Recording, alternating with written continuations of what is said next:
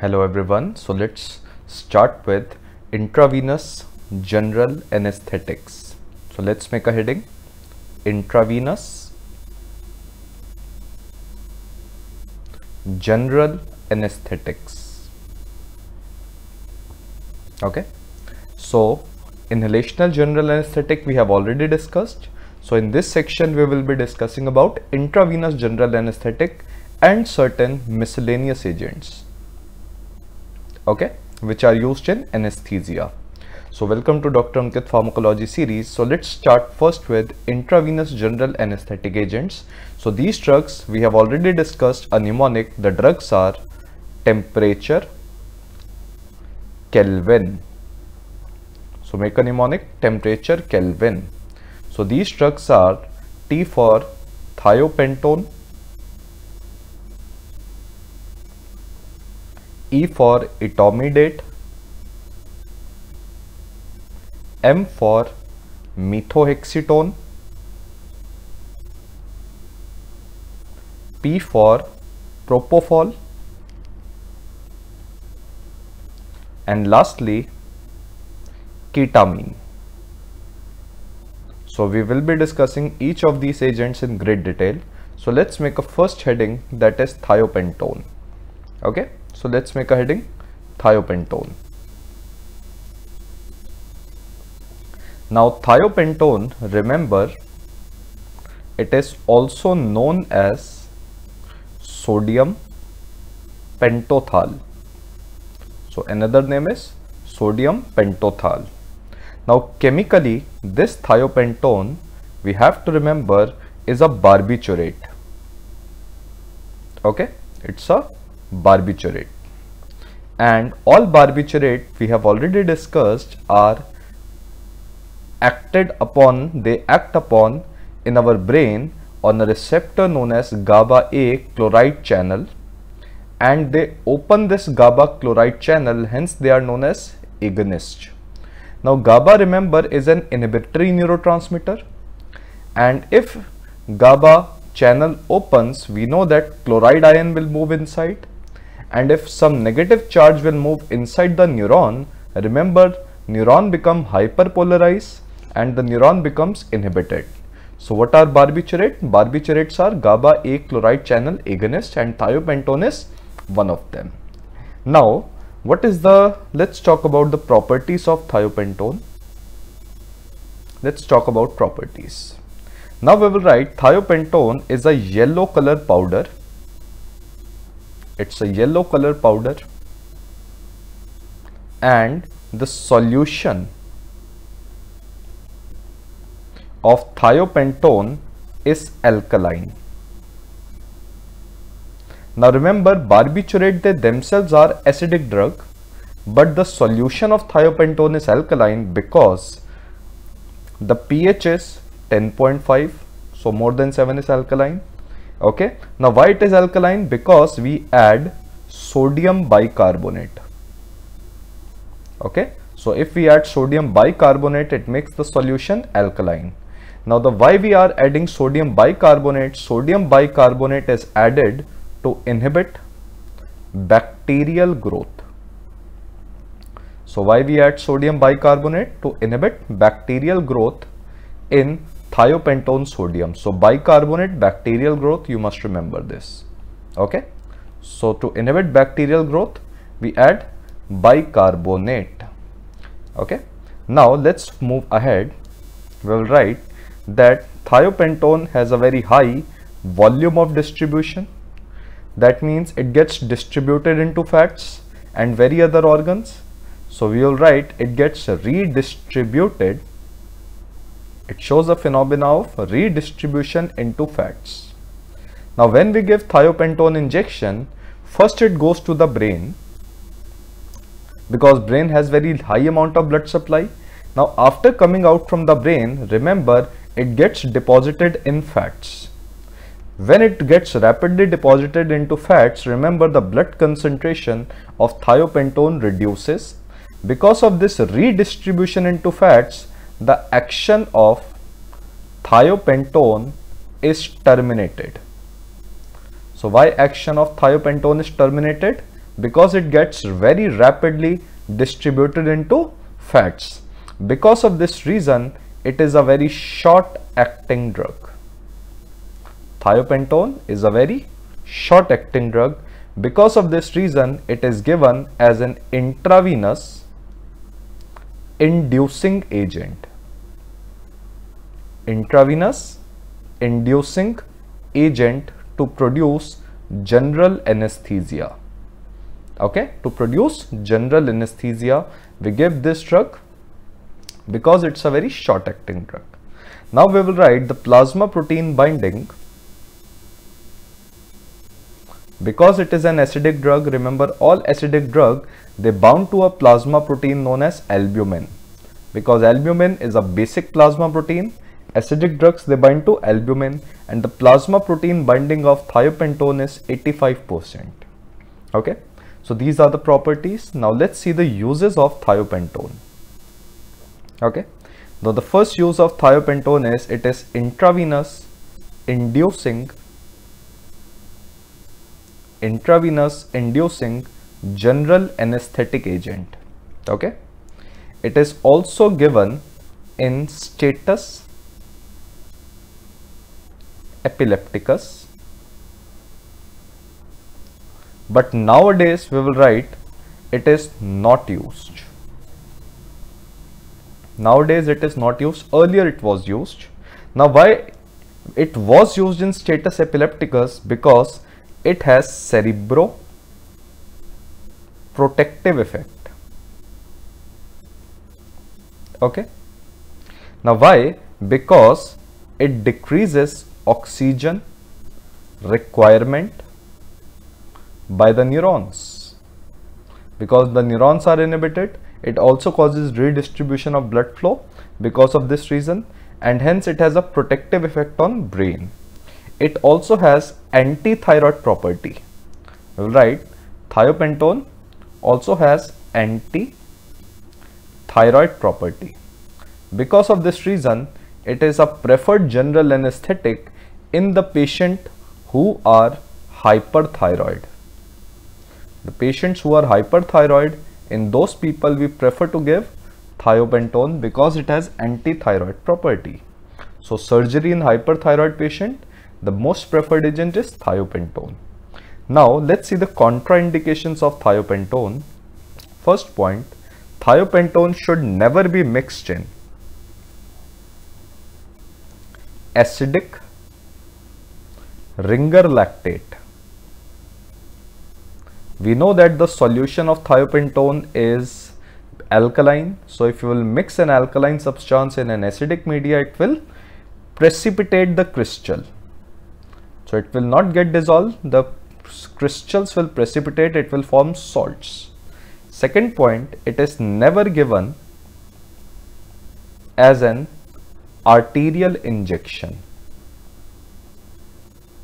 It is never given as an arterial injection. Why?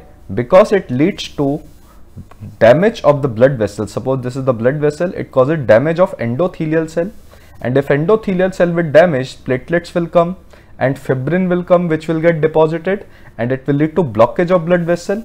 That blockage of blood vessel is known as thrombosis. Thrombosis. Okay? And remember in thrombosis as the endothelial cell is damaged the sensory nerves below the endothelial cell will get exposed.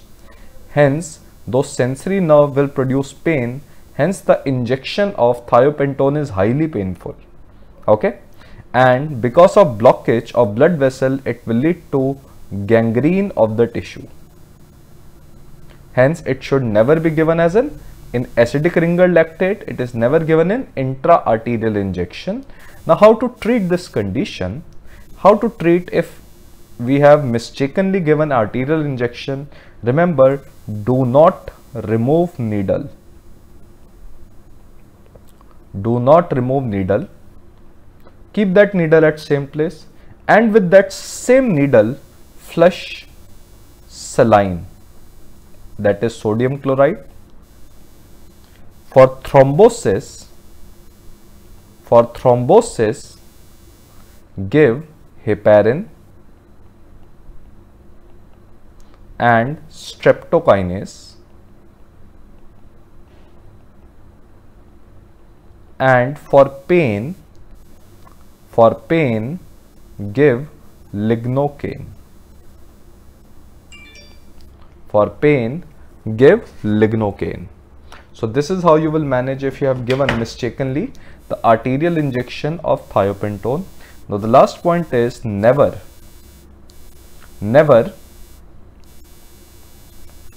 give thiopentone or any other barbiturate in acute intermittent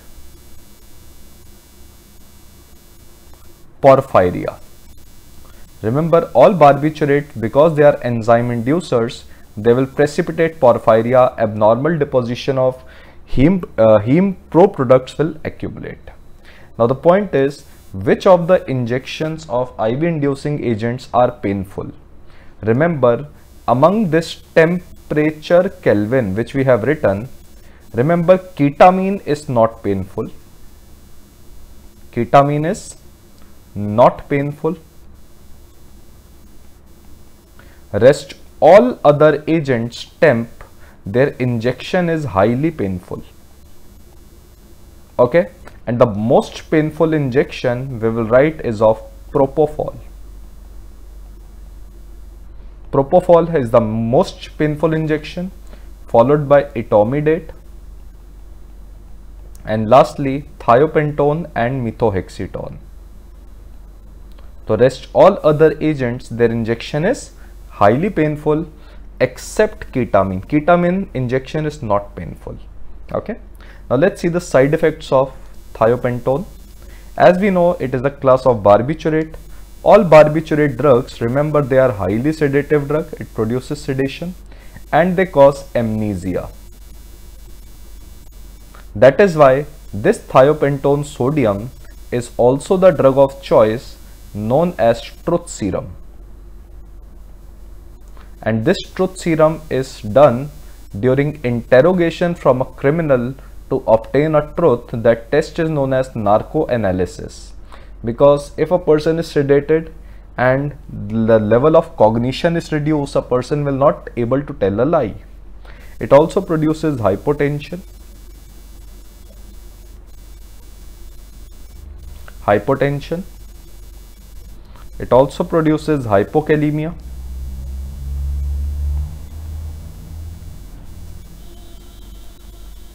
And thiopentone produces double apnea. Double apnea means respiratory depression. The reason is first apnea is because thiopentone has a pungent smell. Because of pungent smell, the person will stop breathing just like an onion. And after that it can have a direct respiratory depressant effect on the brain. These two reasons can lead to stoppage of breathing. Okay with thiopentone. Now this is about thiopentone. Let's talk about the next drug that is another barbiturate that is methohexitone so let's write a heading. Methohexitone now we know that thiopentone was effective in suppressing seizures. But we will write that this methohexitone is another barbiturate just like thiopentone but thiopentone was reducing the seizure activity. We will write that this methohexitone it rather provokes seizures. Okay, methohexitone rather provokes seizures. Now why it provokes seizures? Because methohexitone reduces seizure threshold. It reduces seizure threshold because of this reason. Hence, this methohexitone is the drug of choice in the patient in which we want to do ECT. ECT stands for electro we will write ECG stands ECT stands for electro convulsive therapy. That means by giving electric shock we want to provoke seizure as we know it is reducing the seizure threshold so it will be easier to provoke the seizure and we know that all barbiturate produces sedation. So the person will become calm and now you can easily provoke seizures okay? Now let's move ahead. Let's come to the third agent that is etomidate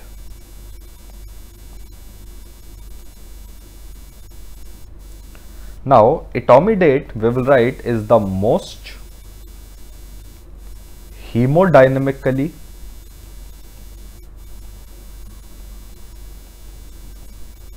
stable agent stable general anesthetic agent. Okay? Because it does not interfere with the blood pressure it does not interfere with the heart also. Hence what are the uses of etomidate we will write etomidate is the drug of choice as an inducing agent to produce general anesthesia in cases of first M we will write in myocardial disease patient.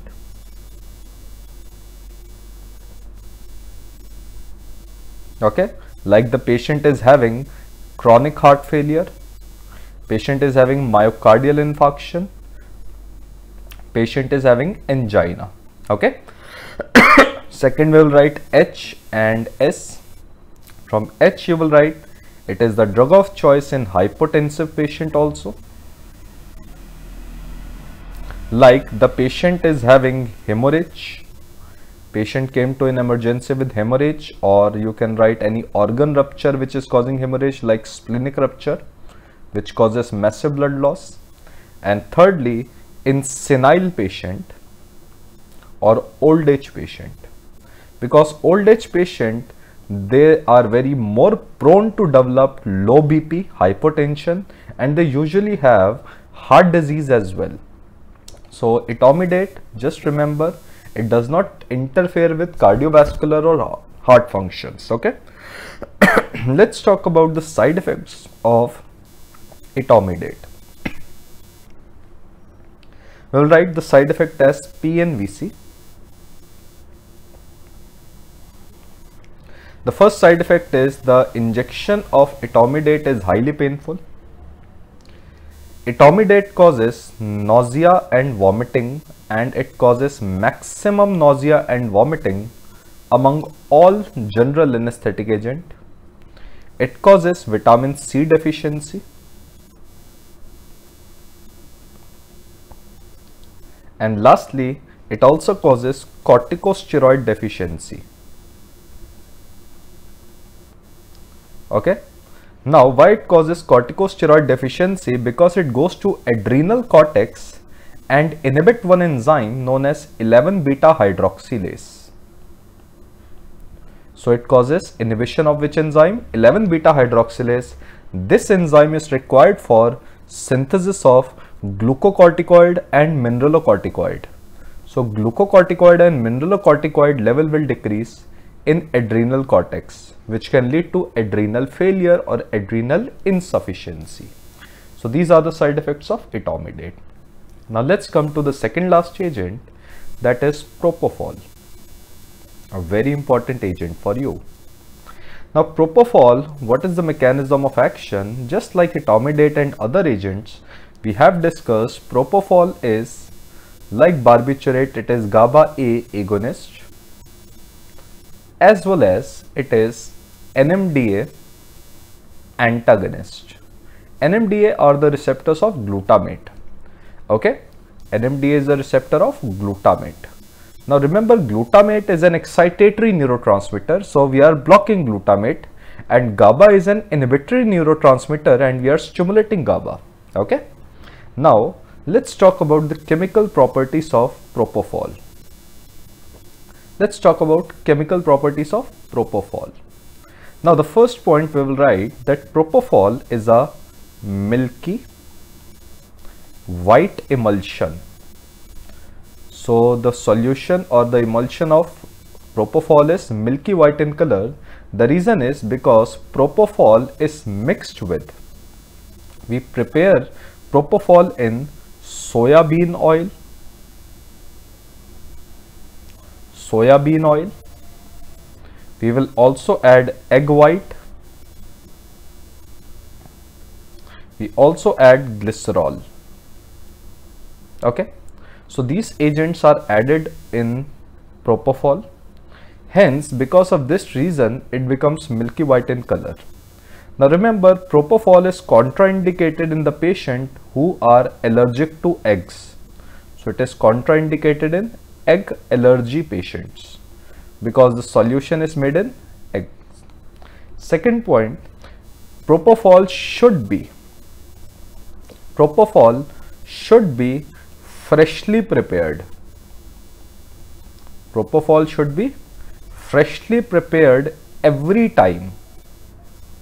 Okay, every time before the surgery and it should be prepared freshly every time before the surgery. And it should be used within 6 hours. It should be used within 6 hours because otherwise it will lead to otherwise it will lead to bacterial growth. So we will write otherwise it will lead to bacterial growth because this soya bean egg they can act as a food for bacteria. So it will lead to bacterial growth. So within 6 hours it must be consumed. So this is an important question that you must remember. Now the pH of pH of propofol is again alkaline and it is 11 pH is 11 okay just like thiopentol now let's see the uses of propofol okay? We will write that the propofol is the most commonly used agent. It is the most commonly used general anesthetic agent. Okay? And it is given for both induction of general anesthesia as well as maintenance of general anesthesia. So it can be given for both as an inducing agent as well as a maintenance agent. Okay. So that is why it is the most commonly used. It is used everywhere. So propofol everywhere. So let's see in which surgeries it is used and we will write propofol. We will write Propofol is a drug of choice and we will write a mnemonic day time. D stands for Propofol is the drug of choice for day care surgeries. Okay. Propofol is the drug of choice for day care surgery. Propofol is the drug of choice for giving total intravenous anesthesia which is also known as TIVA. It is also given to produce ICU sedation. It is also given in the patient who are suffering from malignant hyperthermia. And it is the drug of choice in these all cases. And it also reduces or end nausea and vomiting nausea vomiting. It also decreases pruritus. It also decreases pruritus. So remember it is everywhere the drug of choice. Additionally we will write that propofol has cardioprotective and neuroprotective effect as well. It has cardioprotective and neuroprotective uh, effect as well because it reduces the demand of the heart and neurons. Okay. Now let's talk about the side effects of propofol. Side effects of propofol. So we will write side effects of propofol. These are very important for you and you must remember. Okay. So all these side effects will start from the word P only. Let's see. First, it is most painful injection. Why it is highly painful? Because it's an oily substance. Any oily substance injection is highly painful. Because of this reason, we have made a new drug. that is phos propofol. Fospropofol is less oily that means it is more water soluble. Oily means lipid soluble. Phos means water soluble. Because of this reason it is less painful. So fospropofol as compared to propofol we will write is less painful. Second, among all drugs, its plasma protein binding is maximum. Okay, which general anesthetic has maximum plasma protein binding? Propofol. Propofol damage pancreas which leads to pancreatitis. Okay, it leads to abnormal posture known as opisthotonus Opisthotonus you can write as abnormal posture or abnormal movement. Okay, let's move ahead. It produces pleasurable effect. Any drug which produces pleasurable effect, remember, is highly addictive drug. So it has addiction. Okay, and propofol lastly causes PRIS syndrome. propofol causes PRIS syndrome. Now what is this PRIS syndrome? We will write PRIS stands for propofol, propofol related infusion syndrome. Propofol related in, infusion syndrome. Now what happens in propofol related infusion syndrome? There is heart damage the muscles of the heart will get damaged which leads to cardiac failure. The skeletal muscle also get damaged which leads to rhabdomyolysis. Rhabdomyolysis means degeneration of skeletal muscle. It also leads to hepatic or liver failure. So there is sudden multiple organ failure occurs in PRIS syndrome. Now why it occurs we don't know. It's a very rare and we don't know the cause hence it is known as idiosyncratic reaction. Okay? But it is believed that it occurs because of inhibition. Because of inhibition of mitochondrial respiratory chain so if mitochondrial enzymes which are required for ATP production in respiratory chains are inhibited the, there will be multiple organ failure they will not get ample amount of ATP and it will lead to propofol related infusion syndrome. Why it occurs we don't know but what we have seen there is inhibition of mitochondrial respiratory chain enzymes. Okay. Now let's come to the last agent. That last agent is ketamine. Ketamine. Now if we talk about chemical nature of ketamine, ketamine is also known as PCP. PCP stands for phenyl cyclidine. So it's a phenylcyclidine derivative and phenylcyclidine is a drug of abuse and it is used by drug abusers and it is a very potent hallucinogen. It produces hallucinations. Okay, and many smugglers call this ketamine as angel dust. It is also used or misused as a day trip drug. Okay. And we will write it is highly addictive drug. It has highly ad high addiction. Okay. So keeping this thing in mind, let's start with ketamine. Okay. Now we will write that this ketamine, we will write that what is the mechanism of action of ketamine? We will write ketamine is an NMDA blocker.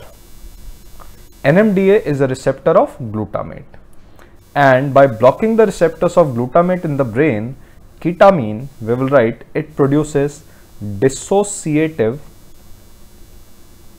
anesthesia. So which general anesthetic agent produces dissociative anesthesia? Ketamine. And it is a very powerful pain relieving substance as well. It has a very powerful pain relieving property as well. That is why the injections of ketamine are not painful also. Okay now what do you mean by the word dissociative anesthesia? Dissociative anesthesia means there will be loss of consciousness. There will be loss of consciousness. But there will be no loss of autonomic or protective reflexes. Remember the person will become unconscious but the reflexes of the patient will not be lost. Okay, reflexes will not be lost. Because of this reason, a like example, gag reflex. So the patient will not have aspiration of the content of the stomach into the lungs because the gag reflex is present. So sometimes it is also known as it is also known as conscious it is known as conscious consciousness is lost but there is loss of reflex conscious sedation. Conscious sedation. Now because the protective reflexes are uh, preserved remember ketamine is a drug of choice as a general anesthetic agent in patient with full stomach. If the stomach of the patient is full and you have to do a surgery rapidly in emergency, you will prefer to use ketamine because there will be decrease in risk of aspiration into the lungs. Aspiration means the content of the stomach will not come into the lungs because the reflexes are preserved. Okay. Now, the second point we will write with ketamine is that ketamine also stimulate our sympathetic nervous system. Ketamine stimulates our sympathetic nervous system.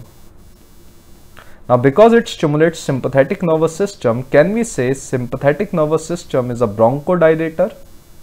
So it has bronchodilatory action and we know that sympathetic nervous system, it also causes cardiac stimulation. Okay and cardiac stimulation will increase cardiac output. So keeping this thing in mind, let's see what are the properties and side effects of ketamine. Keeping this thing in mind, we will write a uh, mnemonic for this that is advice.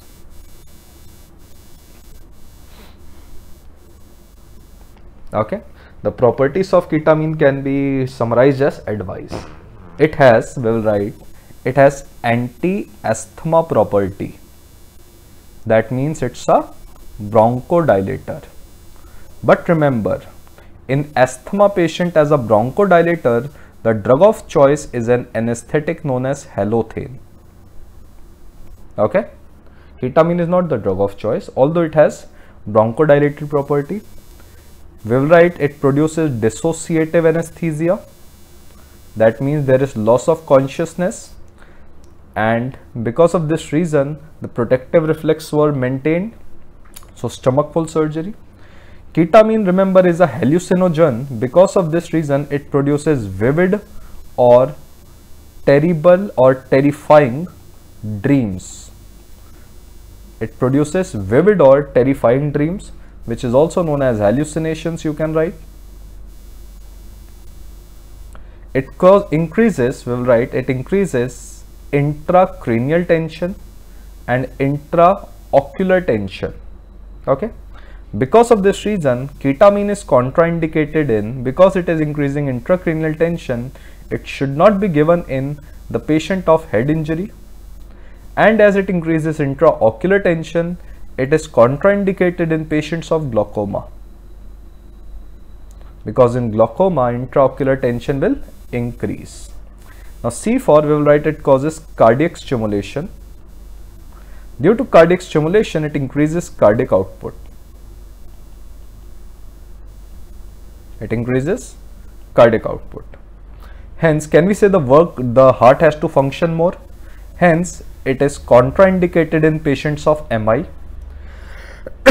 it is contraindicated in the patient who are having aortic aneurysm and we have discussed the drug of choice in all these cases was etomidate. Etomidate was hemodynamically stable drug. Okay. Now lastly, remember it causes seizures or it will provoke epilepsy. Ketamine provokes epilepsy as well. So these are the properties of ketamine. Okay. So these are the properties of ketamine. So let's compare now all intravenous anesthetic agents. So let's write a table for comparison. We'll write a table for comparison. Please write it. Comparison of intravenous inducing general anesthetic agent and we will write four drugs. First will be thiopentone, second will be etomidate, fourth will be third will be propofol and fourth is ketamine. Okay. So let's see what are the areas we have to compare. First is half-life. We will write thiopentone is the longest acting agent among these four. And among these four, we will write ketamine is the shortest, shortest acting agent. Okay. Second point we will write plasma protein binding. Short form is pbp plasma protein binding. We will write Propofol, it has maximum plasma protein binding. Ketamine has minimum plasma protein binding. Okay. Which agent causes nausea and vomiting? We'll write no effect. Etomidate increases nausea and vomiting. Propofol decreases nausea and vomiting and ketamine also increases nausea and vomiting to the maximum okay next point is let's talk about now certain parameters like blood pressure cardiac output who will stimulate the heart intracranial tension intraocular tension respiratory rate and which injection is painful. Okay? So let's talk about these drugs four drugs now. Let's compare these drugs on other basis now. So we'll write blood pressure decrease. Etomidate is hemodynamically stable no effect. Maximum decrease in bp is by propofol while ketamine rather increases bp okay? And same thing we will write with other agents as well. No. No. Maximum decrease. And maximum increase in cardiac output intracranial tension and intraocular tension is by ketamine. Maximum decrease is by propofol. Now respiratory rate decrease decrease decrease but increase. So can we say ketamine is stimulating everything? Okay. So ketamine is a stimulant while first three drugs are depressant drug. Okay. Now painful injection yes. We will write yes yes yes no. So which general anesthetic agent injection is not painful? Ketamine. And maximum painful injection is of propofol okay so these are the parameters that you must remember and this completes your intravenous general anesthetic agents. So now let's complete this general anesthesia. Let's see what are the other miscellaneous agents or adjunctive drugs we use in the treatment of given in during general anesthesia, adjunctive or add-on drugs in general anesthesia. So the first drug we will write is Dex meditomidine. Now dexmedetomidine we will write is an alpha 2A agonist. It stimulates certain sympathetic receptor in the brain in CNS. Okay, so in brain it stimulates alpha 2a receptor and remember stimulation of alpha 2a receptor decreases sympathetic discharge. Okay? As it decreases sympathetic discharge dexmedetomidine produces three effect. Okay? So the first you will write it produces sedation. It produces pain relief analgesia. And it decreases sympathetic activity in the body. Okay? But now let's see it has no effect. We will write it does not have any amnesic effect so there will be no loss of memory. There will be no loss of consciousness. LOC means loss of consciousness. It does not have muscle relaxant property. Because of this reason, dexmedetomidine cannot produce all these agents which are required during anesthesia. Dexmedetomidine is not an complete general anesthetic agent. So where it is used, it is not used as an anesthetic agent because it produces sedation and pain relief. It is given during, pre, before or during peri-operative procedures. So before surgery or during surgery to produce sedation and pain relief especially in the ICU patient as well. Okay? So it is given during or before surgery to produce sedation and pain relief. Remember it cannot produce anesthesia complete anesthesia. Now the second point is we will write analgesic agents. So during surgery we require reduction in pain because surgery is a painful process. So second point you will write analgesics. And among analgesics, the drug of choice is opioids. Okay. Opioids are the drug of choice for pre or peri operative pain relief.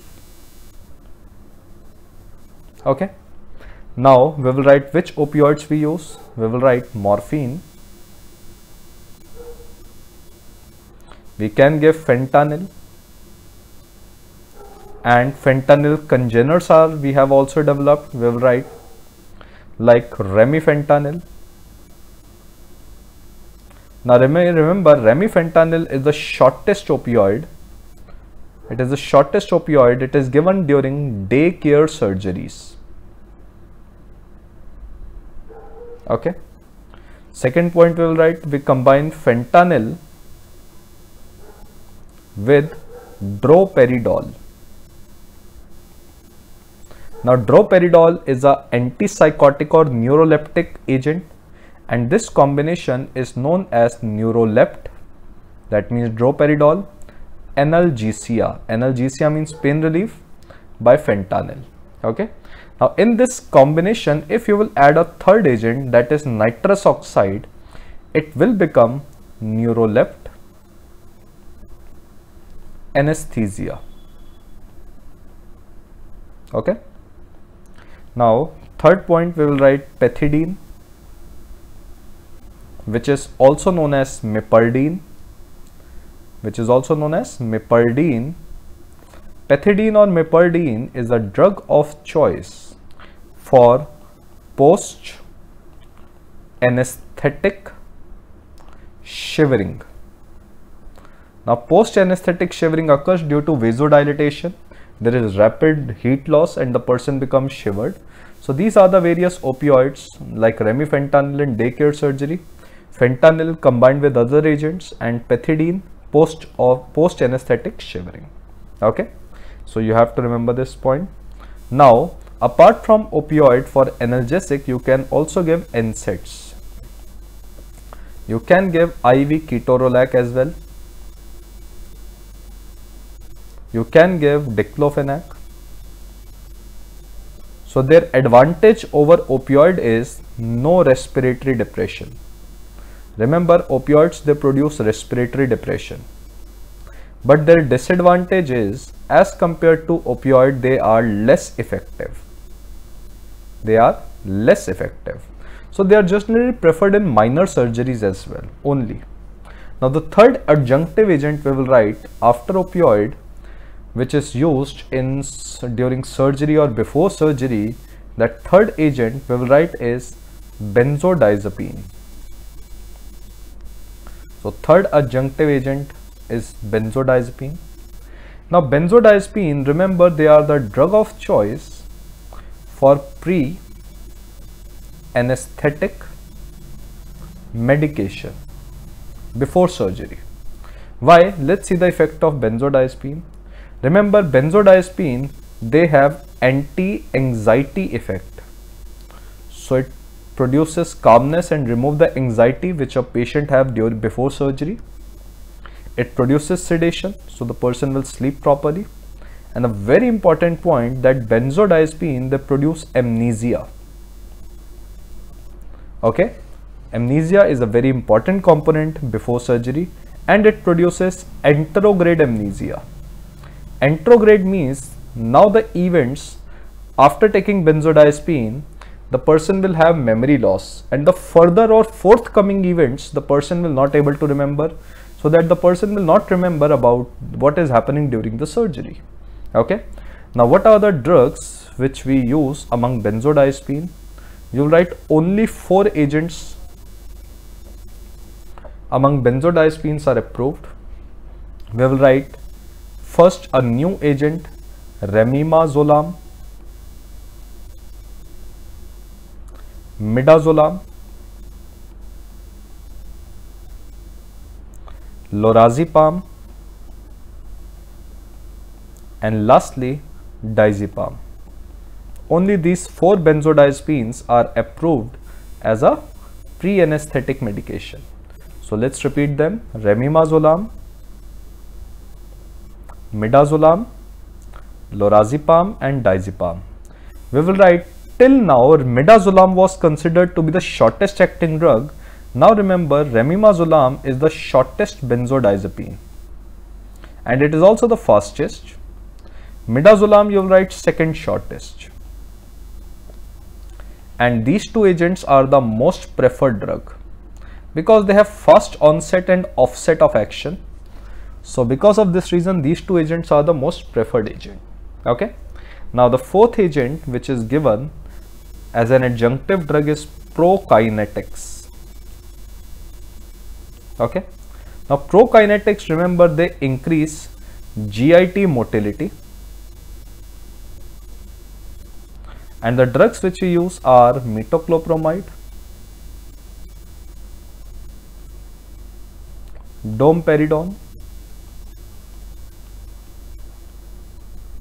etc. Now the point is why they are given because as they are increasing GIT motility what will happen they will increase gastric emptying. So suppose this is esophagus, this is stomach, this is intestine. So in stomach will contract more, intestine will contract more. So it will lead to increase in intestinal peristalsis also. Kinetic means increase in motility okay? So because of this reason what will happen? There will be rapid bowel evacuation. So if a person is having full stomach it will help in removal of bowel. Now remember they also close LES close LES LES stands for lower esophageal sphincter okay? So this is also made up of muscle. So because of this reason they will decrease the risk of aspiration. They will decrease the risk of reflux or aspiration into the lungs. Okay, so prokinetic drugs they are used for rapid bowel evacuation and to decrease the risk of reflux or aspiration during surgery. Now let's come to the second last agent that is anti-emetic agent okay. So they will inhibit nausea and vomiting which occur during or before uh, before surgery. Because nausea and vomiting during surgery could be very dangerous. As the patient is anesthetized don't you think that content will go into the stomach uh, from stomach into the lungs which can lead to pneumonia aspiration pneumonia which is a very dangerous condition. Hence we have to give the drug antiemetic. So the drug which we use are the drug of choice are 5-HT3. So the drugs which we use are 5-HT3 antagonist. 5-HT stands for 5-hydroxytryptamine, another name of serotonin. So the drugs are ondansetron, granisetron,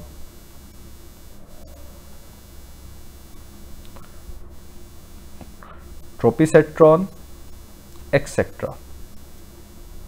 We can also give NK1 antagonist. NK1 stands for neurokinin receptor antagonist. So these drugs they end with the word pitant known as aprepitant, netupitant and rolapitant. Now remember these antiemetic drugs, they are also the drug of choice. Not during surgery only, they are also the drug of choice for chemotherapy or radiotherapy induced nausea and vomiting.